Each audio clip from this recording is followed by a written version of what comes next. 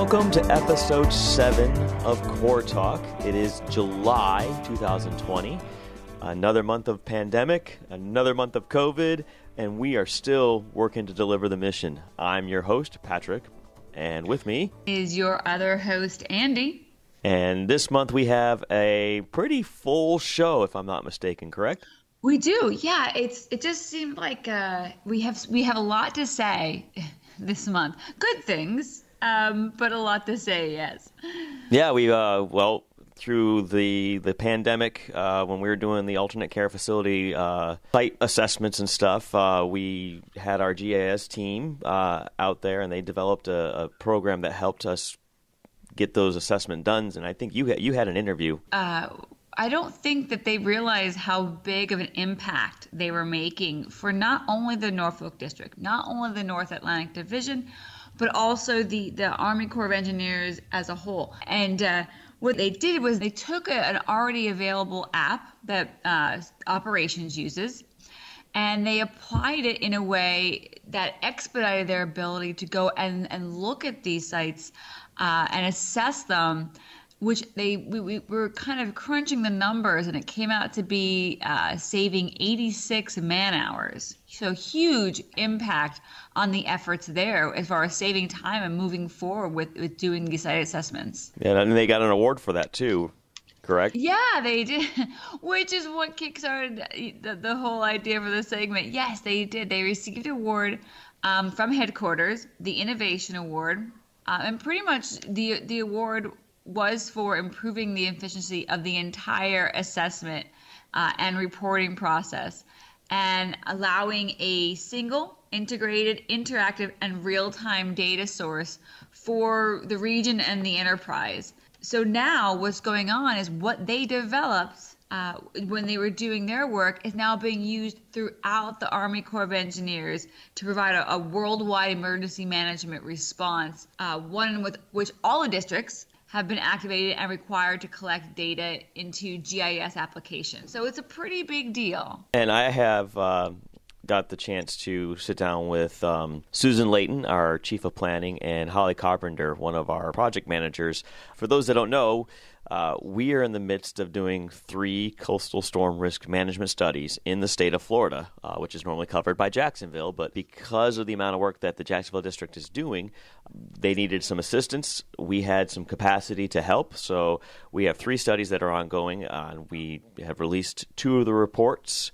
One's in comment period. The other one is also in the comment period, but going through the virtual public meeting portion. So I got a chance to sit down with them and talk about uh, why we're involved, uh, what we're doing, what those projects or what those studies are are looking at. And so that was a pretty good discussion. And you've got another segment too on on this episode uh, dealing with our contracting business folks, right?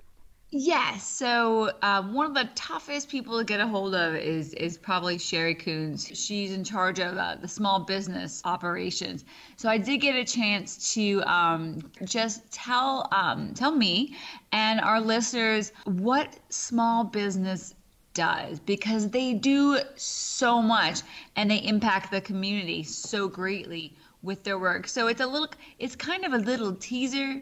So um, we can try to catch back up with her uh, in future episodes and and find out a little bit more. So I think that the listeners will enjoy that. So we're all remotely working uh, for the most part, but I actually made it into the building.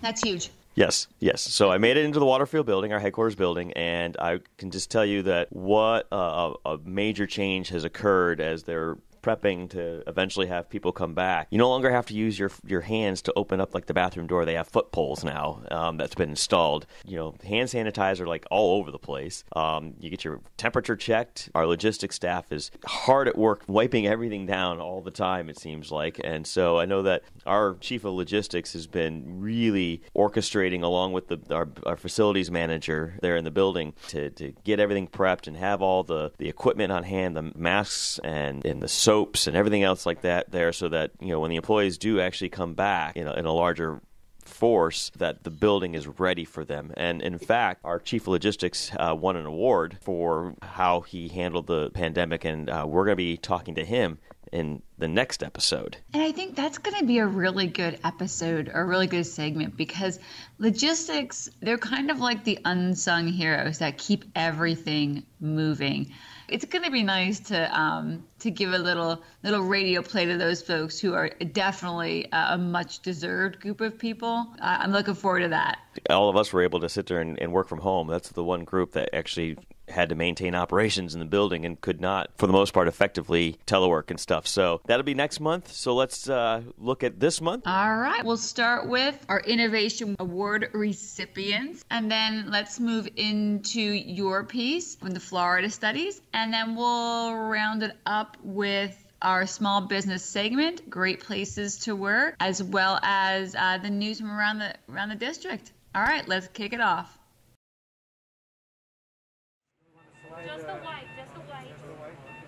While we were all at home and feeling helpless as COVID 19 swept over the country, a group from the Norfolk District was working against the clock to help Virginia fight an enemy that we'd never seen before. Erika Sparkman, a project manager, and Doug Hessler are two members of that team. Yeah, so on March 23rd, um, our engineering branch um, was starting to get together teams to do assessments for FEMA for um, creating alternate care facilities. Um, we knew that Virginia was looking for alternate care facilities in the Tidewater and Northern Virginia and Richmond regions, but we didn't yet have a list of facilities to assess. Uh, so we were just starting to get the teams together. We had received some information from the Center of Expertise um, like conceptual layouts for alternate care facilities and a list of business rules that we should be looking for.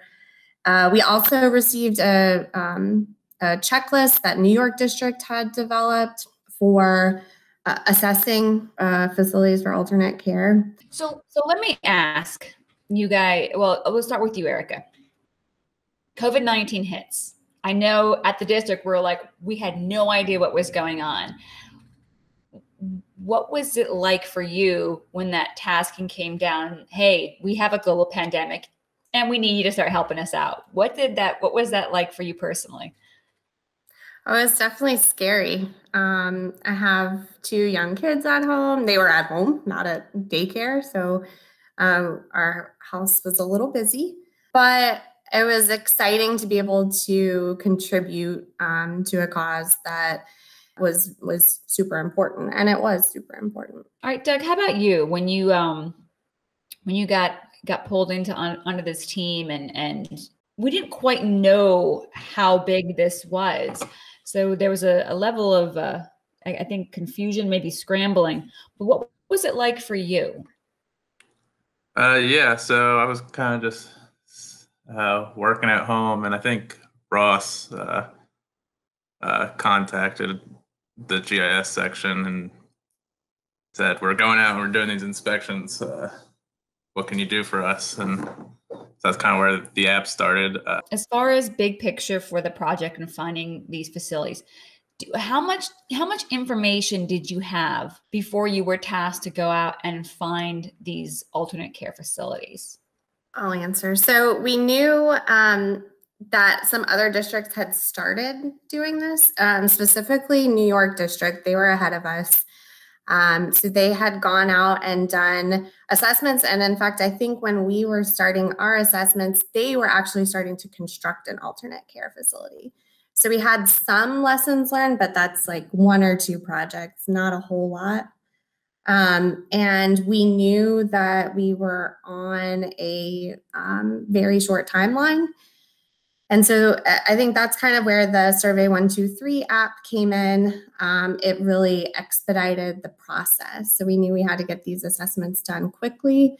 And um, by using the Survey 123 app, we were able to move much faster than we would have if we were using just pen and paper. So Doug, here's here's your part. Here's your time to shine, my friend. Tell us tell us about survey 123 and i want to know before using it for the alternate care facilities what did you what is the app and what would you normally use it for yeah so uh, it's a app that's uh, it's for field work. Uh, it's form based. It can collect some location information, but it's it's mostly for making forms, which was perfect for this ACF or these care facility um, inspections. And luckily, like uh-huh. Erika said, uh, New York had already started and they had made kind of a paper form or like a template. So we had a template to start off with. So we weren't completely uh, making it up as we go. Uh, so I so the first thing I did, I guess, on that 23rd or 24th of March was took that New York form and brought it into Survey 123 and then we kind of went back and forth with the team uh, adding some things taking away some things. And the nice thing about the app is you can you can make drop downs so it keeps the data clean um, one really good example i think is that um, we were assessing two different types of facilities. So we had uh, an arena type of facility or a hotel type of facility which could either have been a, a hotel or um, a dorm we assessed a lot of dorms. And so I think that was actually one of the very first questions at the top of the uh, Survey 123 app is, are we assessing an arena or are we assessing a dorm? And then from there, there are different fields that were required to be filled in. So, Doug, you were saying as as you were going forward and you were implementing the use of this app for the alternate uh, alternate care facility assessments, you were kind of kind of tweaking and and and changing things as you were going along. Tell me a little bit about that process. What's an example of something where you're like, ah, I want to tweak this slightly to make this more effective and efficient for us? Yeah, so um, the app's pretty good uh, about being able to make updates on the fly. Uh, at first, we were being careful, like only doing it at night when we knew no one was really doing anything. But kind of throughout that, I kind of realized I didn't have to do that. So if if we did need a change, because we had two teams out there, uh, I was able to just kind of make that change and tell them, hey, uh, re-download the form. Um, yeah, so I think one of the uh, things kind of on that was probably Im- implemented on day two or three was being able to pull information from other sources based on your location. So we were able to automatically populate whether it was in a flood zone, the address they were at, the city, county, the state was pretty obvious, but those kind of fields, just things that we were able to just automatically populate things that when you're in the field, you might like you're not going to know if you're in a flood zone and if and what flood zone uh, category you're in. So stuff like that, I think, was really helpful. So eventually, the form uh, was combined with another form that was kind of floating out there more for reporting up to headquarters. Uh, that was Julie Vickers in the Vicksburg district. And so that's where it really kind of took off throughout the Corps is we had the field aspect of the app and then she had the what headquarters was using to report to the chief. Uh, those they called them EEIs. So eventually that got combined together to really become like kind of a cradle to grave thing for each facility. Now, had had this app been used in that manner any time before that you know of, or do you think this was the first time it it, it functioned like that? It was definitely the first time a single app, a mobile app at least, was used across the Corps.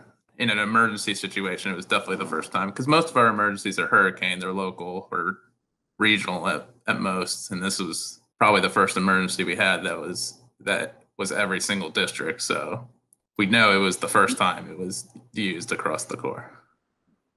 Um, you were telling me a little bit before we started recording. How is this app being looked at now, or what is the end result of the innovation of your team?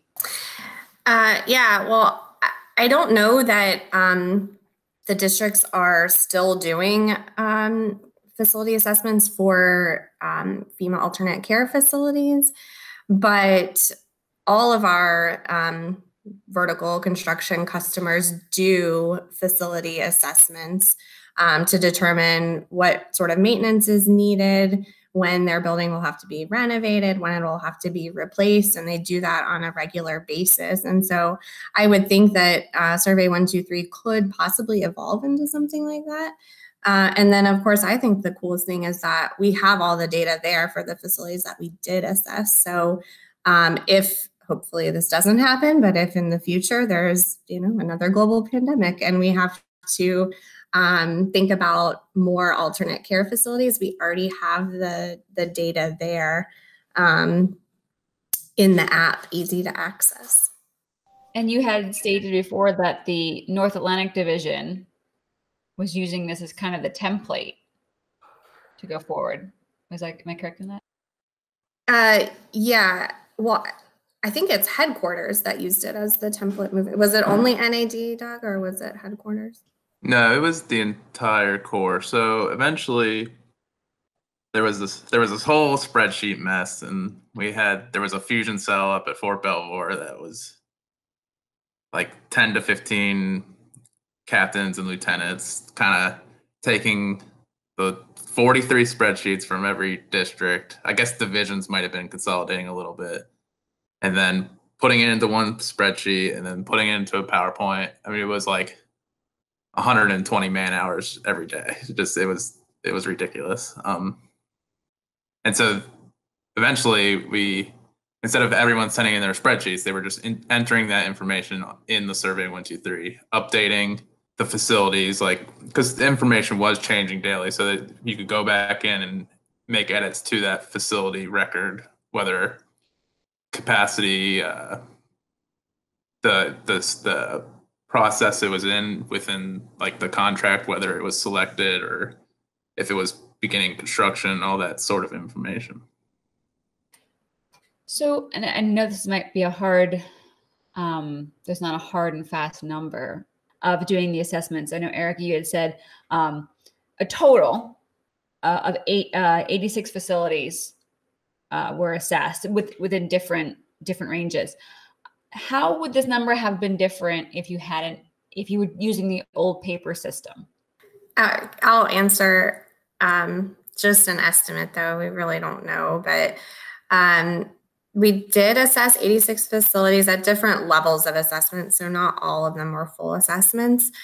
Uh, but i would i would assume you know 30 minutes to an hour per um, facility would have been spent um, uploading data after the the facility assessment, um, you know, compiling notes and things like that, and sending them back to the district where we were preparing the actual assessment reports. Um, had it not been automated through the app, I think you could, yeah, you could have assumed uh, an additional 30 minutes or an hour for each facility and it probably would have taken us longer to complete all of the assessments. And then on top of it, you have, you know, when you're dealing with actual paperwork, Word docs or PDF forms, you have more chance for things to get lost or not be downloadable, or you know, you have those other, I would guess, like glitches that that just come up with working with forms. So you're kind of bypassing all of that as well. Um, so, oh, go ahead. I was going to mention one other thing. Um, we talked about how Doug was able to update the app on the fly and the and the survey, and that was not only because our teams were learning lessons in the field, but also because the other districts were learning lessons in the field. So almost every day, um, the Huntsville Medical Center of Expertise would update their um, business rules and um, so, you know they they learned more, so they would update their assumptions and it would feed into um, how Doug updated the app. And so, had we not had the app, we would have had to, you know, do all this either over email if we were lucky, if VPN was working well, or, um, you know, making phone calls and and trying to do it without that automated process would have been more difficult. When we were all kind of put on that, you know, maximum telework, VPN our you know our net our ability to access our network uh, was troublesome So, um, you know, what were some of the struggles that that you guys had while doing these assessments remotely and and relying on these networks that were that could be spotty at times? Yeah, it was hard. um, I think at that point, um, ACE-IT had upgraded the VPN server, so we were starting to see an improvement, but it was it was still spotty. Um, some of us went into the office to work, um, but of course, our teams that were out in the field couldn't go into the office. So that was the lucky part about um, uh, the app was that you didn't have to be on VPN; they could use their their mobile data. Doug, I'm going to uh, direct this one at you. So, what were some of the um, um, challenges uh, that you found while you were doing the alternate care facility assessments, the whole process? The form ended up at the end having a lot of fields. Like, wait, it probably was way too many fields. I, I don't know the exact number, but it was probably like 200 or something. So, and we were having every district enter in all their facilities. I just looked; it was 1,150 facilities you can imagine a, a thousand facilities with 200 fields. It's just because some of them were did have to be backfilled. It wasn't, you know, especially in NAD, a lot of the assessments had already been had already taken place, but headquarters still wanted all the information in in the app to report up. So it was kind of we had to define fields like, hey, these are the very important fields that need to be filled out. Um, and then along with that, defining the fields that became a big because we put the form together in a day. So we just had all these fields going in, but there were no definitions of, hey, what is, uh, I can't think of a good example, but there were a lot of things that just they weren't intuitive, like the the what the what the question was asking. So we had to put definitions on a lot of things, and in the form, it we were able to put hints under the fields, and we also published kind of a data dictionary to help with that. But that took an extra week or two to kind of get together. So kind of like streamlining the vernacular, make sure everybody was seeing yeah. the, reading the words the same way. Yeah, making sure everyone was looking the same, the same way. way. Yeah, exactly.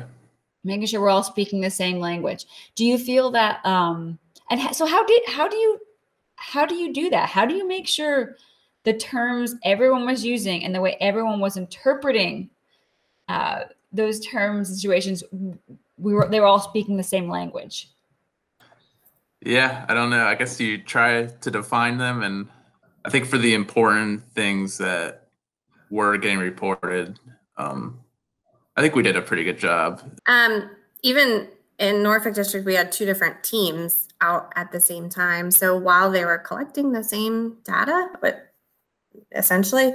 They were using the Survey 123 form. Um, there may have been different interpretations. Um, and so back at the district, we may have had to ask the teams the questions. Um, our Ross Tuttle and Alex Gusev in operations branch were um, putting together the reports after the data came back from the teams.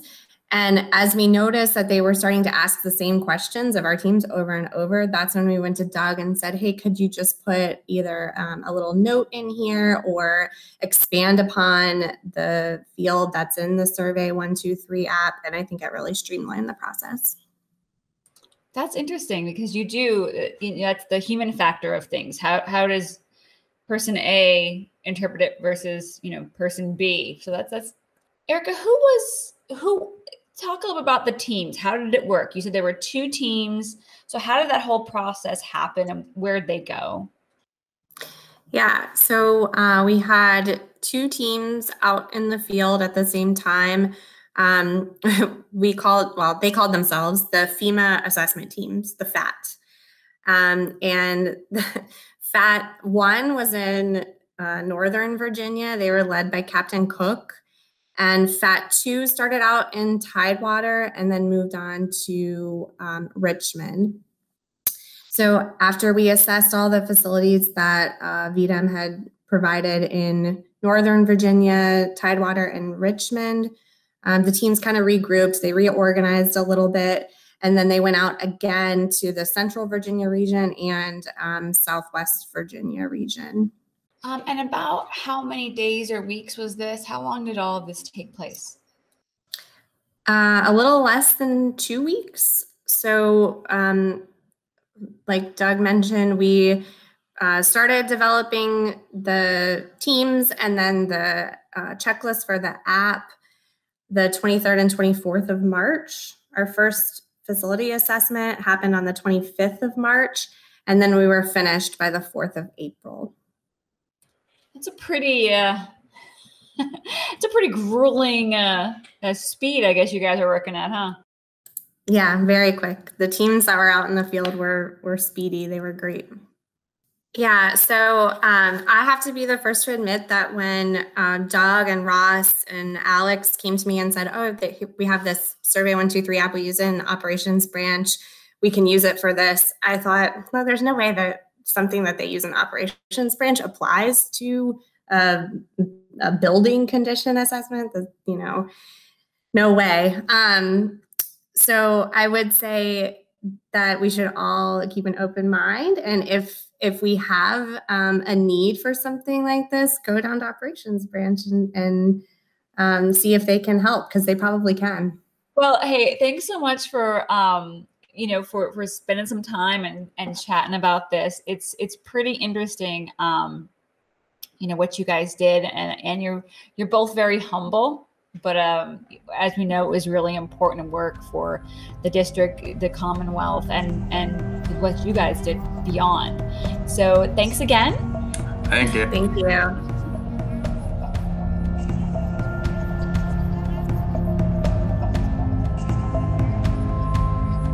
So I wanted to welcome to Corps Talk our Chief of Planning, Susan Layton, and our Project Manager for the Miami-Dade Back Bay Coastal Risk Storm Management Study, Holly Carpenter. Welcome to the program. Good morning, Patrick. How are you? We're doing great. Good morning, Patrick. So let's just uh, you know we'll, we'll dive in and, and, and talk about um, you know what exactly is a, a feasibility study, and and I think I'll direct that at, at you, Holly, since you know it's more you have direct impact on one of the studies. We're doing multiples down in Florida, so uh, you know, for for for the Miami Dade piece, what what is that? What is a feasibility study and associated programmatic environmental impact statement mean? So, what we've been charged with for the Miami Dade County area is to conduct a study over three years with a limited budget of $3 million um, to look at what we can do as far as mitigation measures towards coastal storm risk management. And, and when I say we, I mean as a partnership, the federal government and the non-federal sponsor, Miami-Dade County. What is a feasibility study in this case? We're only looking at focus areas and hotspots as well as critical infrastructure county-wide to address these issues. And through the three-year process, we're working on developing a plan that'll be economically justified and have some preliminary designs so that we have a good handle on what the implementation um, costs and, and, potential benefits could be. And, and at the conclusion of this, we'll have the documentation, which is the feasibility report integrated with that programmatic environmental impact statement. That can be provided um, for approval through the Corps of Engineers and eventually, hopefully, um, to Congress for authorization for implementation. So, you know, Miami Dade is just one of these studies. Uh, we have three other studies, and, and Susan, are they similar? Are there are there massive differences in these these studies? So the studies are all under the same mission area of coastal storm risk management, but each study is definitely a bit unique. The Collier County study definitely uh, includes some beach area, um, which is different than the, the Florida Keys and the Miami study. So that that one looks at both the beach area and the back bay or the behind the beach area. Um, but it is a look at the entire county um, to start with, and then we zoned in on those areas of the highest risk. Uh, the Florida Keys, I would say, is just unique because of the geographic area of the Keys. I mean, you're talking about uh, over a 100 mile uh, string of islands that are very low lying, uh, very vulnerable to coastal storms. So I would say each of the studies start with the, the same mission um, of increasing resilience and reducing risk from coastal storms. Um, but then because of the uniqueness of each area, the, the outcome and the analysis is different for each. Uh, as we've already discussed Miami-Dade a bit, um, that is a very large and complex urban area. And they actually have a separate study that the Jacksonville district is doing for the beach area. So in that study, we're really looking at behind the beaches, so anything behind the ocean front. But even when we just look behind the ocean front, it was really more than we could um, completely and comprehensively provide a recommendation for within that three years and three million. So we did really zone in on on hotspots and limited our analysis to that area. Um, whereas Collier and the Keys, we we started out um, with with the whole area um, to provide recommendations for. So there, so it's the same same authority, but then we, you know, the outcome of each will be different based on the the uniqueness of the um, the the geography um, as well as the the environmental resources are quite different on each, and that somewhat drives the recommendations that that we can make for each study. And and for you, Holly, um, we are in you know We've already released the, the study to the public. We're in a comment period. Um, what does that process look uh, going forward uh, to the to the general public? So what we're doing now, we're about 50% of the way through the study. We've released the draft report that includes a draft plan called the tentatively selected plan, and we're really looking for um, public and agency feedback on that plan that we can incorporate into our refinement um, the remaining feasibility level analysis we have moving forward before we produce a final report next spring. And and I guess the, the main point here is is that you know this doesn't mean that you know when we complete the study projects start work start going there's a whole other process that goes on after that correct so we'll be producing a final report next spring and then by the fall of 2021 we're looking to seek approval within our agency, the Corps of Engineers, through a chief's report. Um, after that approval, the recommended plan from the study could then be passed through the administration and eventually be provided to Congress for consideration for authorization. And typically that's done in a Water Resources Development Act that occur on a biannual basis. Um, and then once it's authorized, that really provides permission to implement the study. But in order to actually start work, we would also need an allocation or federal funding in partnership um, with a non-federal sponsor, since the implementation of this project would be cost shared.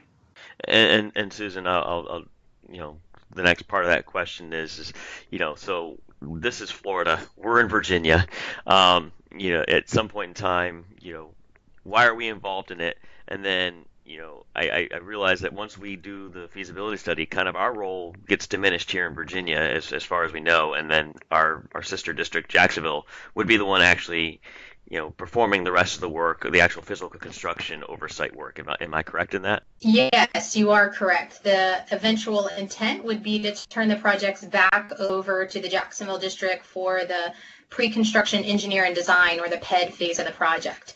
Uh, so we have been working very closely with our consultants from the beginning studies to coordinate the steps along the way and to ensure that the recommendations that we're making and the potential or eventual implementation is consistent with how they see the projects moving along. Um, at, back to the question of kind of why is Norfolk District supporting the Jacksonville District? First, we're very honored and excited to be doing so. It's always uh, interesting to work in different parts of the country, and certainly the the risk in South Florida to coastal storms is really one of the highest in the nation, if not the world. Now, uh, Jacksonville District, of course, has a lot of coastline area responsibility, including uh, Puerto Rico and the Virgin Islands, in addition to the, the Florida coast.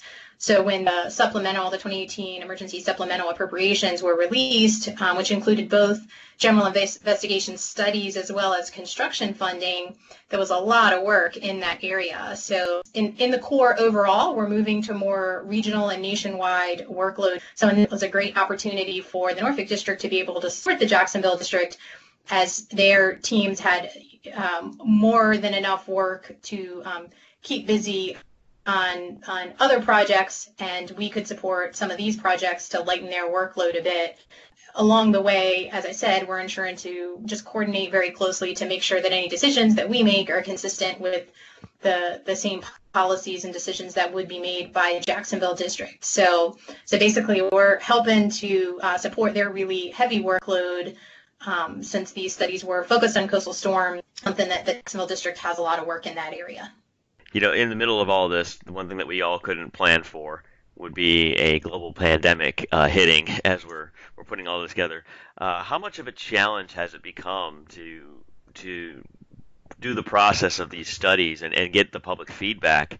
Um, as as we have the social distancing um, and the inability to actually go face to face with folks, um, you know, talk to me some of the challenges that that that have have popped up that we're overcoming. So I actually think our teams have done a phenomenal job of stepping up and ensuring um, a high level of public and agency participation, despite the um, the need to social distance and the inability to get together in person.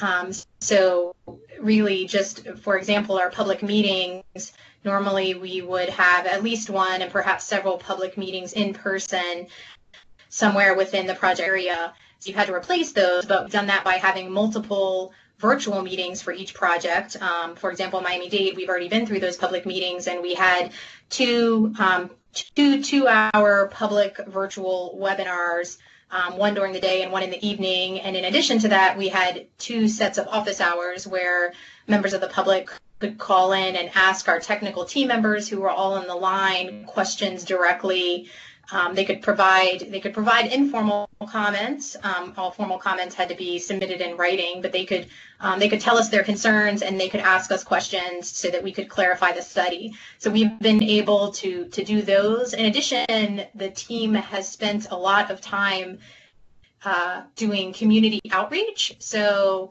for example, in Miami Dade, there are over 30 municipalities, and the team has done virtual webinars to both staff and city council members to many of those localities. The same thing in the Florida Keys. There are five different municipalities outside of the or, or included within the county, uh, but that function as their own municipalities. And we've briefed both of the staff and the city council or the commission level at all of those municipalities multiple times. So I think as our society has moved to Zoom and Skype and different types of um, of communication tools. I think our Corps of Engineers team, along with our local sponsors, have very um, uh, have done a great job of moving over to those types of communication. And I, I, I think we've done a good job, um, given the constraints that we have, of of providing the information to the public and allowing them to provide input. Um, you know, as well as we can, not being there in person. In some ways, I think it we could be reaching more folks because we have had folks call into our public meetings and say, hey, I might not have shown up in person, but because this is, uh, you know, over the phone and a webinar, I, I was able to, to call in and participate. So I think in some cases, the outreach is, has worked even better than if we had done our traditional public meeting format. And, Holly, for you, I know that one of the things that the project manager is really, you know, concerned about is obviously the timelines and, and the funding piece. You know, uh, as far as you know, timelines are concerned, how has the the uh, the the pandemic impacted impacted you? Um, yeah, so of course I am concerned about both those things. Um, I think as far as timeline, we we have had some delays in releasing the report. You know, the the actual release we were hoping to be a little bit earlier this spring, but with everything going on, we held on to it a little bit longer. But we we aren't expecting any overall timeline issues with this. Um, we're going to stick to our three year timeline, which is great news um, you know the team's willing to put in the work um, to make up any any time that we lost with the release of the report um, trying to you know work around all of the issues that are occurring this year um, and then as far as budget we're we're in good shape um, you know I, I don't, don't think there's really cost savings because I would say we've probably participated in even more outreach virtually than we would have done in person. So we have some travel savings. But as Susan said, the team has been spending a tremendous amount of time communicating um, with agencies, with local stakeholders, and with the municipalities within Miami-Dade County, um, and and all that's going really well.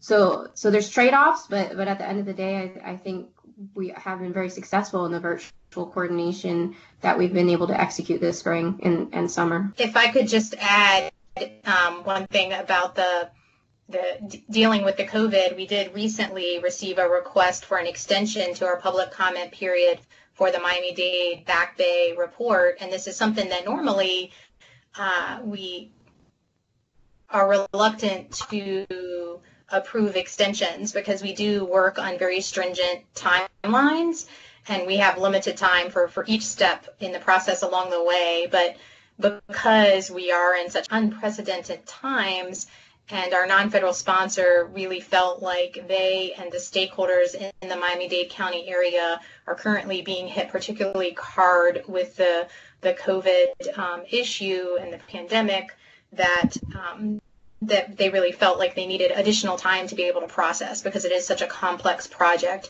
So we did approve that 30 day timeline. So I think we are trying as a Corps to maintain business as usual and execute our plan. I'm still acknowledging that there are some things that we may need to adjust in order to account for, you know, what's happening globally. So you know, we're trying to balance that, and I, I think we're doing the best job we can moving forward. And, for those who are, are, specifically interested in each one of the projects, uh, we are.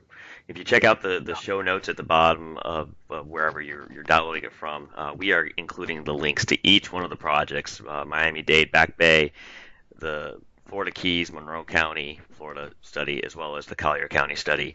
Um, ladies, is there anything else that you want to add that I may have forgotten to ask? So we we talked a lot about the, the, process and, and like you said, Patrick, you'll provide the links to our plans. Um, so I would encourage everyone to, to visit and take a look at all, all the coordination. And, and I just want to add that we have been working really closely with Miami-Dade County through this process. Um, and we look forward to continuing our great relationship with the sponsor there. And I would reiterate that on the, the Florida Keys and the Collier County as well. It's certainly been a um, interesting experience and uh, something our team is proud of that we've been able to support the projects. And um, certainly we have draft reports out. We'll have final reports out in the spring of 2021 and the way our planning process works now the the, the projects continue to evolve quite a bit until the final report. Um, so the teams are still working hard. We still have another um, over a year of analysis to complete to get the, to those final recommendations. Um, and we look forward to having those signed Chiefs report in September of 2021.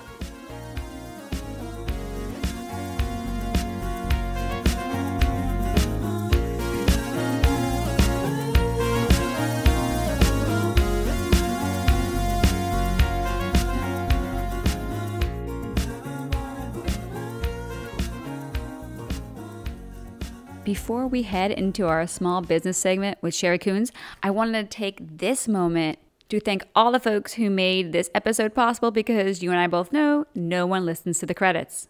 In no specific order, we'd like to thank Cherie Kunze, Erika Sparkman, Doug Hessler, Susan Layton, Holly Carpenter.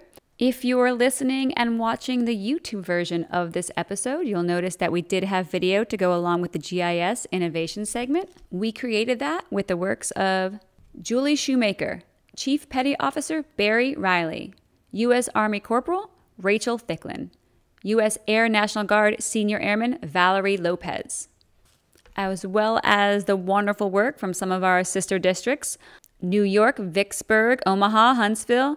Thanks for uploading all that fantastic imagery for us to use. Oh, didn't know that was a thing. Didn't know I could do that. So yeah. the good and the bad. But um, yeah, what I was really thinking, and we I kind of touched on it in the email, is just um to to take a look at what the Norfolk District and the Army Corps of Engineers look like of a small business office. That sounds wonderful. Yeah. So um, the purpose of the small business um, position that I hold is to be an advocate for small businesses. So um, what we do is each time we have a requirement, we look at the requirement and see uh, the best way to um, award a contract, whether it be to a large or a small business, that will meet the customer's needs. In going out to um, the industry uh, through a source of sought, letting them know that we have this requirement, then we can find out what other companies are out there that can do the work. Most of the work that we do um, is a new requirement. For instance, we do a lot of construction at all the local um, installations around. And most of the work we do is it's the first time we're, you know, fixing the bridge or building a new building um, or repairing another building, et cetera. Um, we do some repetitive work, but it's a very small percentage of our overall program. So by advertising out to the industry, um, they can let us know that they're available and what their capabilities are so that we can get the best contractor for our customers at the best price. So really, it's um it's beneficial to us co- cost wise. Um, what would you say is the benefit for those small businesses in in um, joining us in that work and, and being connected with the Corps of Engineers? So by having an advocate for them, um, it helps to, uh, if you will, level the playing field. Um, and I would explain that by um, when we go out to do a sources sought, say we have a project in um, at one of our installations, and we do a sources sought, and we find out that there are a lot of small businesses that can do the work. Um, if we have two or more small businesses, then we will consider setting the, the project aside for a small business set aside, which means that only small businesses can then compete for the project. If we didn't do the sources sought and we didn't ever have a small business set aside, then the small businesses would have to compete with the large businesses on every project. Um, and as we all know, a big conglomerate is going to be more economical than a small business that's coming out. So by having the set asides, it helps to level the playing field and give those small businesses a chance to compete for the work. And um, there are different different kinds of small businesses. Can you talk to us a bit about that? Sure. Um, I think you're referring to the uh, socioeconomic categories that yes, are under, yes. yeah, that are under the small business umbrella.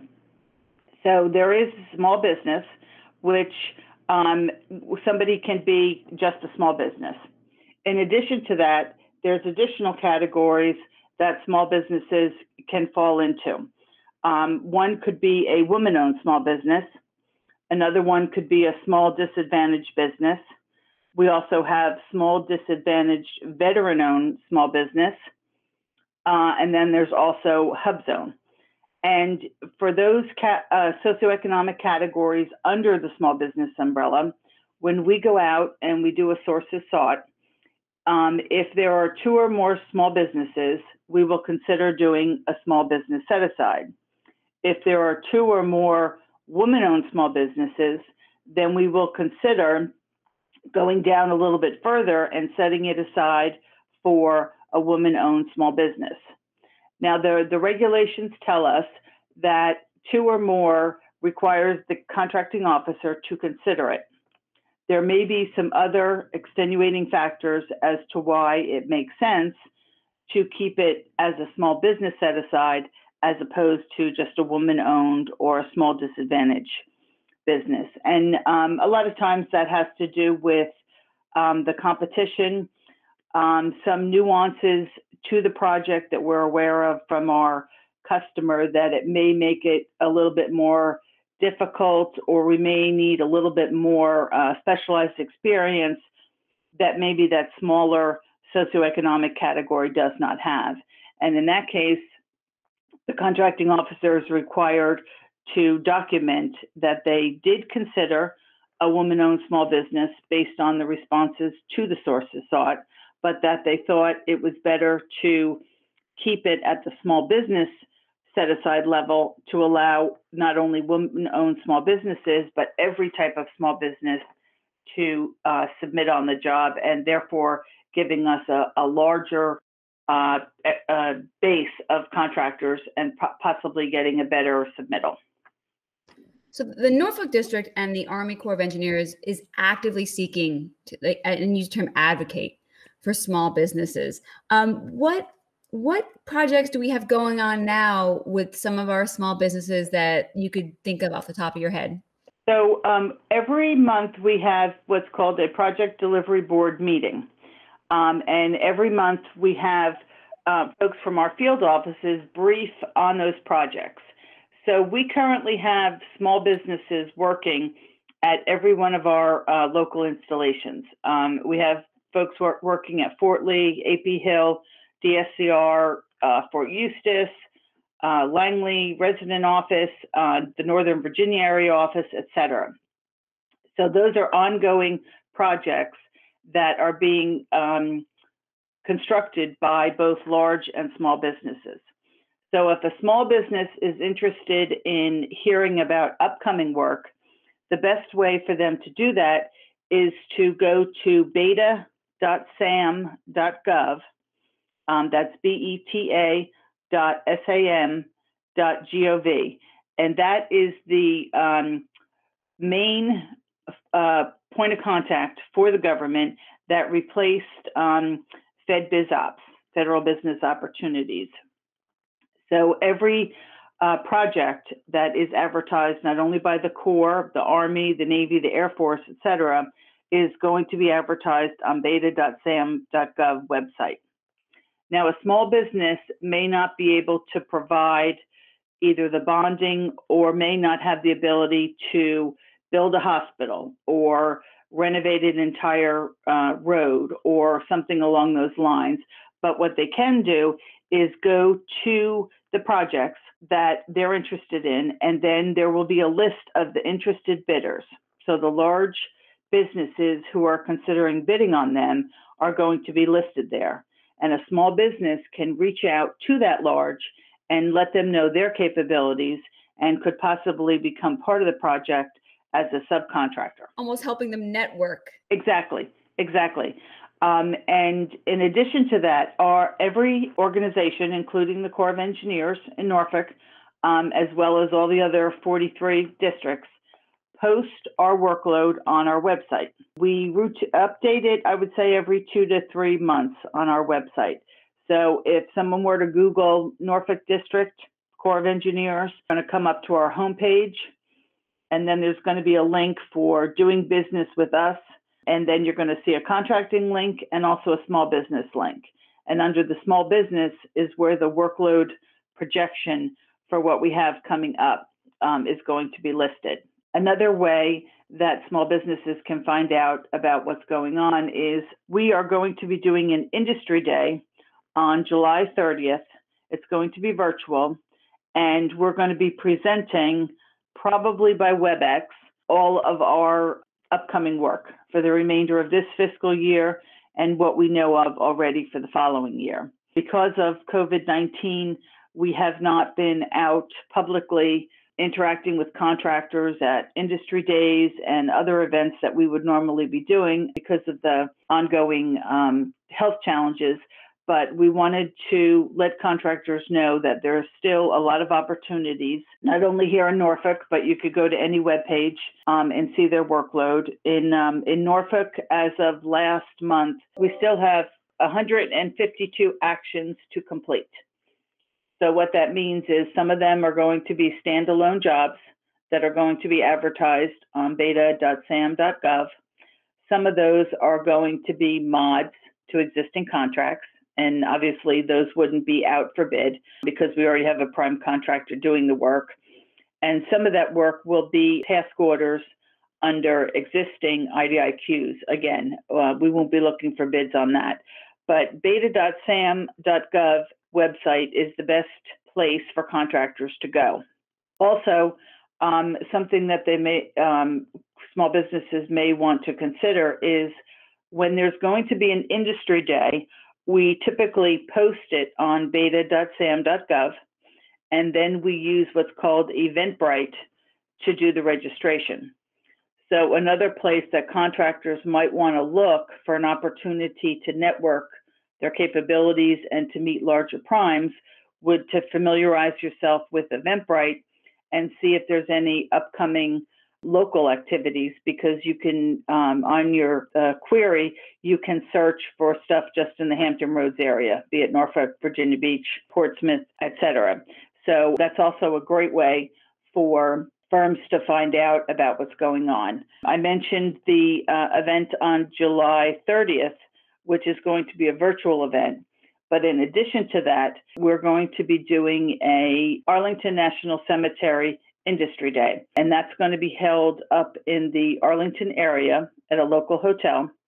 It is going to be an in person event and it's going to be open to contractors who might be interested in working at Arlington National Cemetery, whether it be as a prime holder of a contract or as a subcontractor. So, again, another opportunity to, as a small business, um, meet the large primes that typically work in this area and obviously at Arlington to meet them and to hear about you know other opportunities that you could take part in. So what we'll do is we can put all of those links uh, down in our show notes, so the folks listening at home can have them right there for them to uh, to access after the show. Okay, wonderful.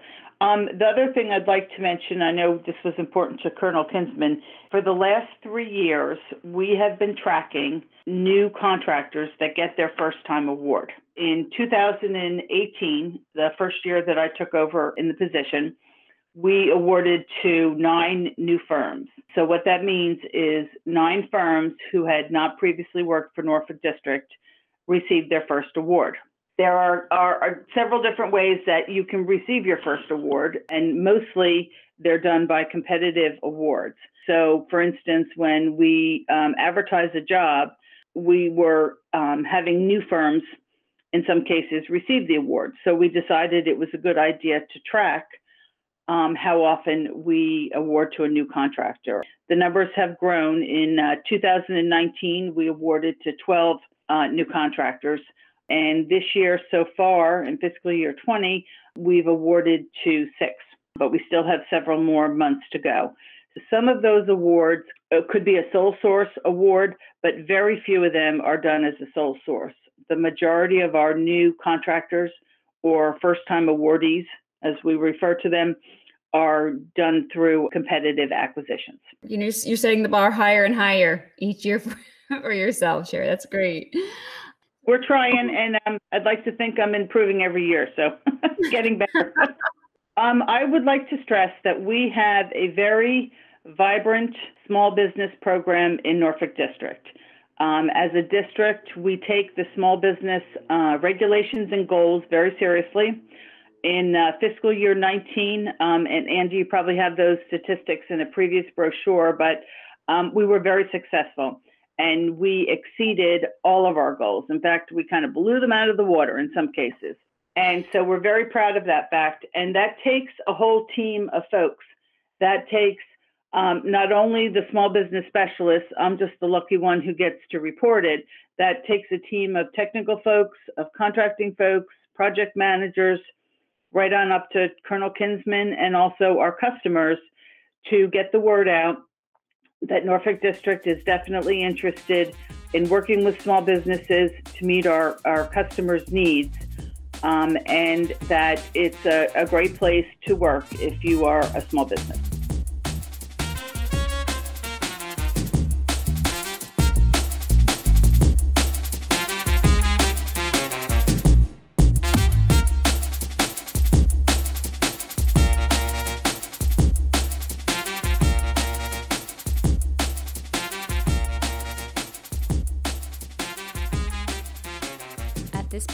The episode, you're probably like, wow, I want to work for the Corps of Engineers.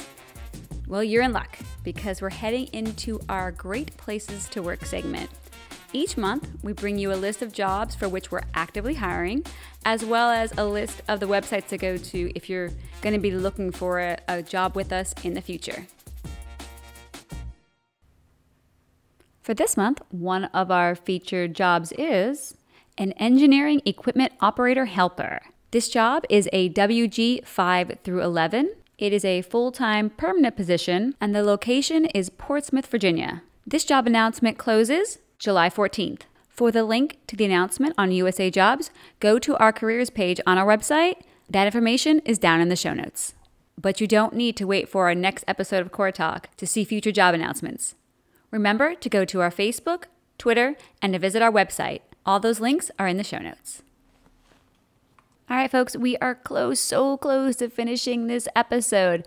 It is now time for news from around the district. And this month, with all the exciting stuff we have going on, we only really have two major news bits for you. The first one is Gathright Dam Pulse release schedule has been released itself, and that's available on our website. You're going to go to the media tab from the homepage, scroll down to news stories, click on news stories, and you'll see that article halfway down the page. The other major item for this month is mosquito spraying dates. Yes, it's that time of year again. We are starting our aerial mosquito treatment over federal property on Craney Island. We will continue to have updates on our website, our Facebook, and our Twitter, but you can also call the Portsmouth Mosquito Hotline at 757 393 8666. All right, that's it. That's all for this episode of Corps Talk. Thanks so much for tuning in. We're looking forward to bringing you yet another month of all the people, programs, and projects of the Norfolk District. But until then, this is Corps Talk. Corps Talk is the official podcast of the Norfolk District U.S. Army Corps of Engineers. Submitting emails or voicemails to Corps Talk constitutes permission to use that content as part of the broadcast. Corps Talk is recorded at the Norfolk District Headquarters Building in Norfolk, Virginia, and is produced by the district's public affairs staff.